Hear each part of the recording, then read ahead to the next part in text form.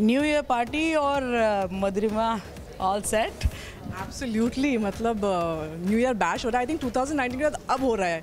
तो I thought आना ही पड़ेगा and I am very very excited क्योंकि दो साल से कोविड भी था तो सेलिब्रेट नहीं कर पा रहे थे. अब फाइनली जाके सबसे मुलाकात करने का मौका मिलेगा. So very very excited I W M Buzz की जो पहल है सेलिब्रिटी बैच जो पूरा ऑर्गेनाइज किया है तो क्या लग रहा है कैसा रह रहा है पूरा?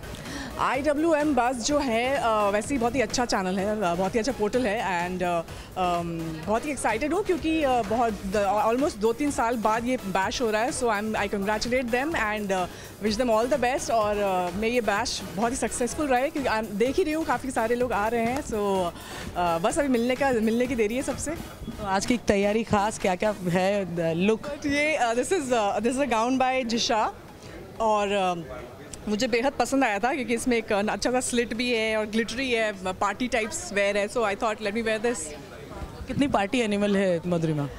मैं पहले थी काफ़ी पार्टी एनिमल मतलब जब मैं बच बचपन में अभी अभी भी बच्ची हूँ वैसे मैं। तो बट अभी थोड़ा मैं घर पे रह के इन्जॉय करना ज़्यादा पसंद करती हूँ।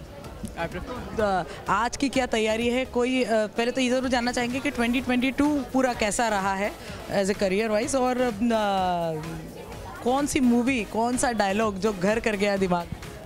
ओ माय गॉड वैसे तो 2022 touch wood by God's grace अच्छा रहा। Uh, um, मैं मेरा एक शो आया था लंदन जहाँ पे पूरा लंदन का टूर किया था मैंने एंड जियो सिनेमा में आ रहा है वो अभी और अभी एक नेक्स्ट uh, ईयर फ़िल्म भी आ रही है जो मैंने अभी शूटिंग कंप्लीट की है। So yes I am happy excited और कुछ कोई डायलॉग इंडस्ट्री काफ़ी रूल की है। बिल्कुल बिल्कुल साउथ इंडस्ट्री तो काफ़ी रूल की है इस बार।